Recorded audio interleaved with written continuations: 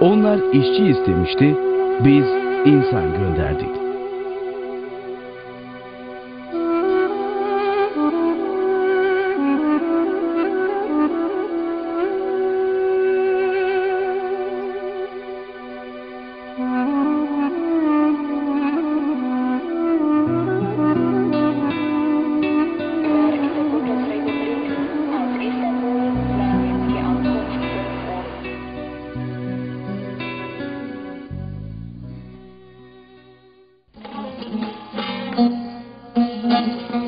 Bir göç hikayesidir.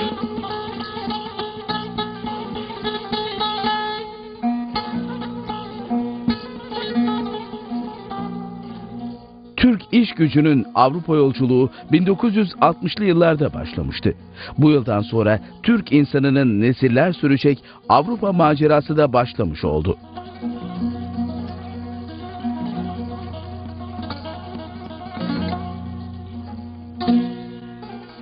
Türkler diğerlerinden her zaman farklıydı. Bir tür ötekiydiler. Almandan da, kendileri gibi göçmen olan Polonyalılardan da, İtalyandan da, Yunan'dan da.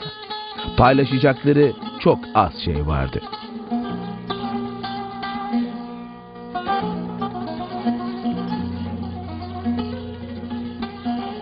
Onların Noel'leri vardı, bizim Ramazan bayramları. Onların şükran günleri vardı, bizim kandil geceleri. Aynı yerlerde yaşıyorlardı ama farklılıkları vardı. Çok da ortadaydı. Gün geçtikçe tanıyorlardı çevrelerini, daha iyi kavruyorlardı kuralları. Bu tarla parası, bu traktör parası, bu küçük bir ev parası derken zaman geçiyor, paralar birikiyor ve belki de dönme ümitleri azalıyordu. Ve nihayet gurbetçiler geri gelemeyince vatan gurbete taşındı. Farklıyız ama aynıyız.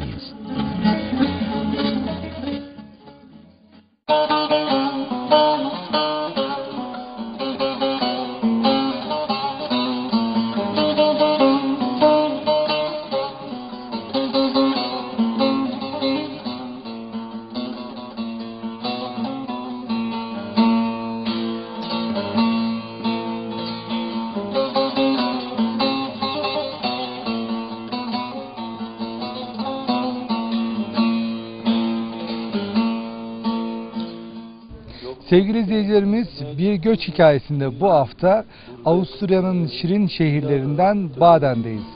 Baden'e yıllar önce gelen Baysal ailesinin göç hikayesini şimdi kendilerinden öğreneceğiz. Bakalım bu göç hikayesi nasıl başlamış? Gurbeti ben mi yarattım? Gurbeti ben mi yarattım? İşte babam 69 yılında buraya geldiği zamanlar, o zamanlar tabii kaçak yollarla gelmişlerdi kendisi, devlet kanalıyla gelmemişti.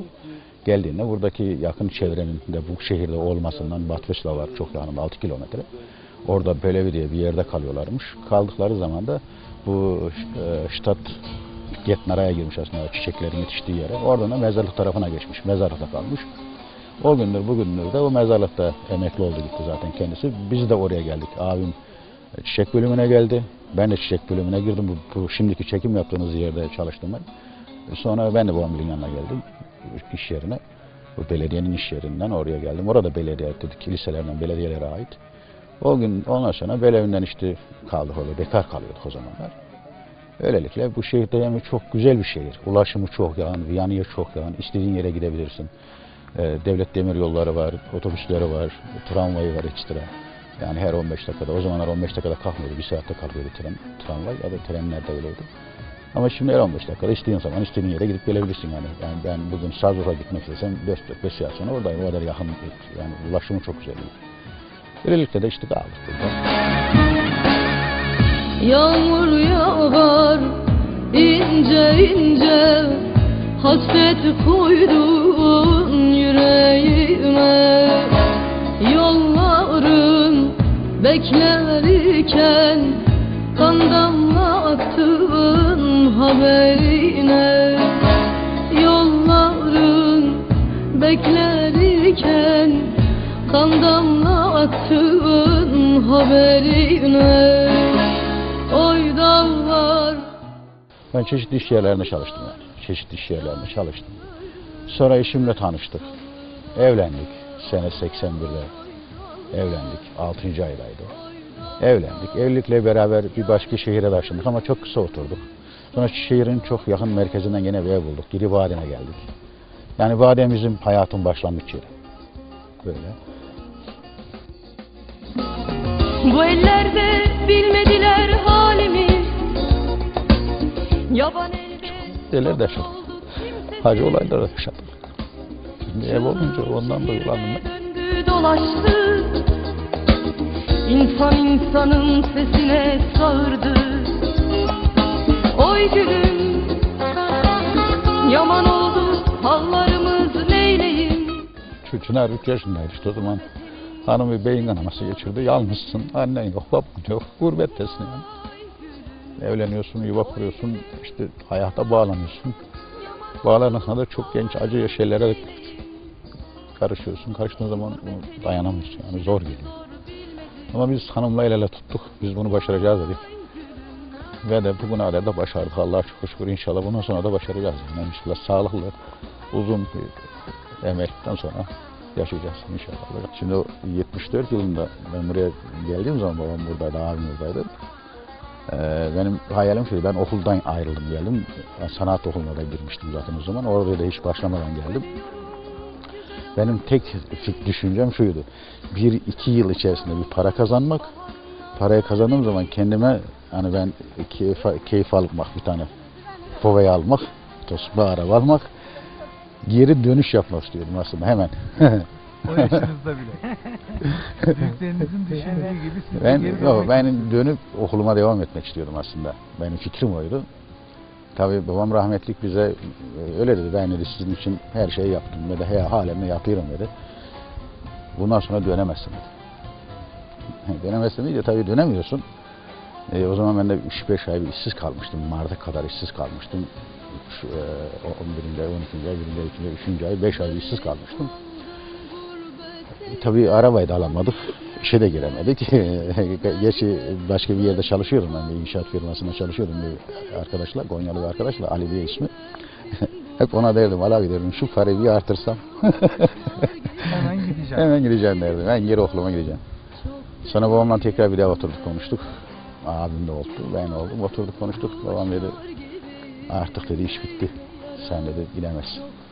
Gidemezsin deyince o zaman Türk danış vardı burada. Ee, Linke Vinasayle'de Karatay denen, Türk danış denen bir yer vardı. Tabii e, benim biraz da İngilizcem vardı o zaman. Çok hafif de Almanca biliyordum. Ben orayı buldum.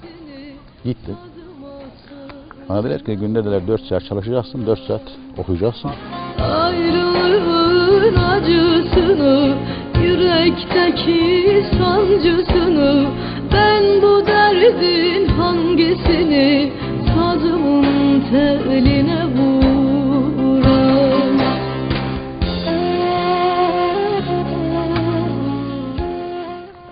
Baden halkının buradaki yaşayan Türklere bakış açısı nasıl peki?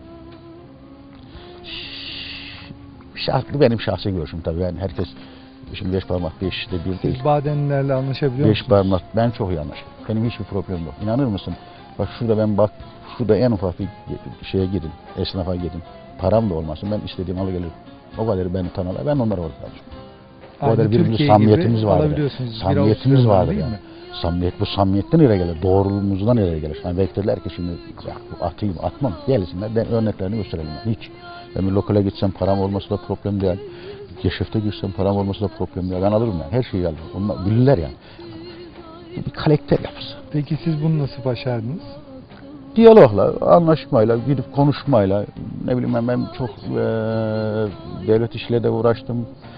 Eee marklaların işiyle uğraştım. Eee, örneğin Landesregierungs'la uğraştım. Yani eyalet yöneticilerine de uğraştım. Yani ilgilendim hep. Mesela benim bir sıkıntım vardı. Örnek bir örnek vereyim size. Telefon ettim. Adam gel buraya dedi. Landesregierungs'da. Baysal biz bunu çözeriz. Niye çözmeyeceğiz ki? Ya biz ikimiz anlaşacağız bununla dedi. Bu başkası bizi anlaştırmayacak. Gittim oturduk. 15 dakika sürmedi anlaştık. İş bitti. Arkadan da telefon etti. Baysal işin oldu. Bu yani böyledir. Ama kendini bile, hani bizde e, Mevlana'nın galiba bir sözü var. Ya olduğun gibi görün ya göründüğün gibi ol. diye bir söz var. Kendimizde de çok iş var. Geldiğin şehri tanımıyorsun, tanımak istemiyorsun. Geldiğin şehrin ufak tefek etniklerle uğraşmıyorsun. Mesela gitmen lazım örneğin. Bir yangıcının ihtiyacı varsa küçük bir bağışta bulunman lazım. Örneğin bir ihtiyacı varsa küçük bir bağışta 5 liradan 10 liradan insan fakirlemez. Ya bunlar güzel bir şeylerdir yani. Yahut da bir hastanede ne olacak bir değil mi? Bunlar güzel bir şeylerdir. Nasıl biz kendi birbirlerimize yardım edecek bunları da etmemiz. Çünkü biz burada yaşıyoruz. Buranın insanıyız.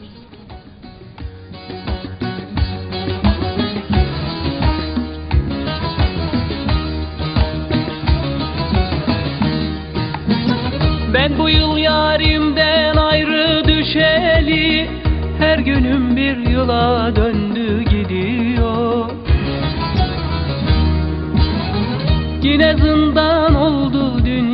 başıma.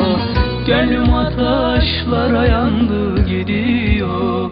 Ömrüm boş hayale kandı gidiyor. Yine zindan oldu dünya başıma. Gönlüm ateşlara yandı gidiyor. Ömrüm boş hayale kandı gidiyor